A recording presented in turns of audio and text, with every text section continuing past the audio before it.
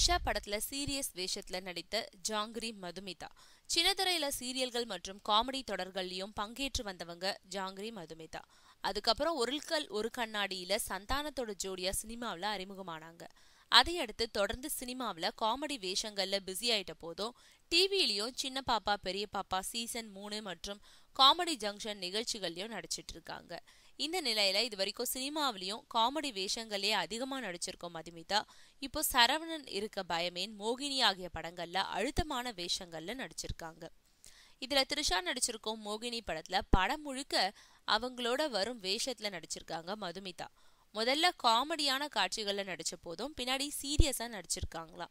அப்படி நடிச்சது எனக்கு வித்தியாசமான எக்ஸ்பீரியன்ஸா இருந்ததுன்னு சொல்லும் மதுமிதா. இனிமே நான் மாறுபட்ட கேரக்டர்கள்ல நடிக்கிறதுக்கான தொடக்கமா இந்த மோகினி படம் அமைஞ்சிருக்கிறதா சொல்றாங்க.